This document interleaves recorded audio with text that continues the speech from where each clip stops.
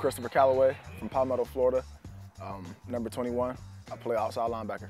I would say my highlight was um, probably college, man. I mean, it, it, was, it, was, just a different ball game up here, man. It's, it's, a lot more exciting, you know, always watching it while I was younger, always wanting to make it here, you know what I mean? So, and this, I'm actually living it, so this is definitely the highlight.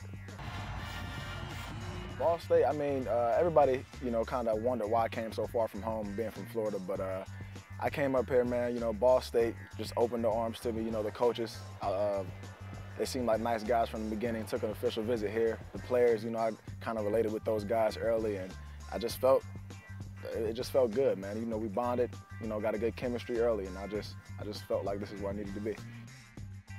It's been a lot of fun, man. Uh, the only thing I'm still trying to get used to is this weather. You know, I don't, in, in the winters, man, it, it, gets crazy. It's okay to walk around, man, but I'm still trying to get used to play, to play in it.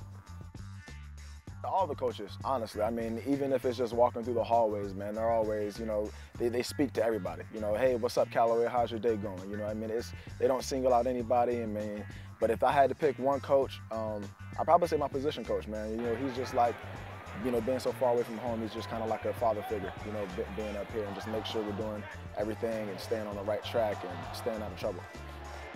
We helped uh, some a lot of freshmen move in today, and a lot of them had on Ball State football shirts. So that, I mean, if that says anything, I mean, they're just getting here and they're already rocking out the, you know, the Ball State football gear. Then it seems like they're excited about it.